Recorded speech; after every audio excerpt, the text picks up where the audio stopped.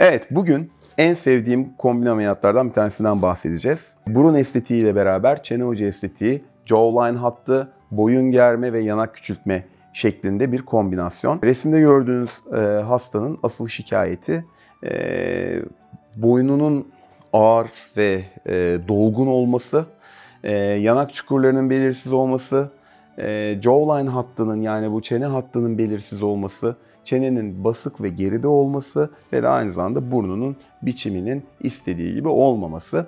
Bunların hepsi bizim karşımıza çok sık gelen e, şikayetler ama her hastada bunlar ameliyatla düzelebilecek gibi olmuyor. Bu hasta bütün bu dediğim değişiklikleri yapmak için çok uygun bir hasta. Dolayısıyla biz bu hastayı ameliyathaneye aldığımız anda önce bir boyun liposuction ile başlıyoruz.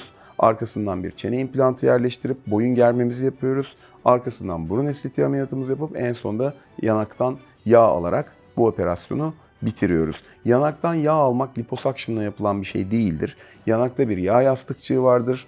E, Bichat yağ yastıkçığı adını verdiğimiz ve bu yağ yastıkçığı sadece ve sadece normalden büyük olduğu durumlarda küçültülür. Bu yağ yastıkçının tamamını almak uzun e, vadede çok doğru değil ama eğer yağ yastıkçığı normalde olması gerekenden büyükse onu oradan çıkarıp daha doğrusu onun fazla olan kısmını oradan çıkarıp normal boyutlara getirmekte burada yüzün biçimini oldukça olumlu bir şekilde etkiler. Ve böylelikle bu hasta birbirine paralel ve dengeli e, bir burun, çene, çene hattı ve boyunla ameliyathaneyi terk eder aşağı yukarı her şeyin bitmesi 2,5-3 saat kadar sürüyor. Böyle bir ameliyattan sonra hastanın iyileşme süresi ortalama bir hafta. Bir hafta sonra hasta her türlü işinin gücünün başına dönüyor. Sadece şişlikler ve bir miktar belki morluklar olabiliyor bu dönemde. Bu şişlikler, morluklar da birinci ayın sonunda büyük ölçüde geçmiş oluyor. Ancak son halini alıp o incecik güzel görüntüyü vermesi aşağı yukarı 6 ayı buluyor.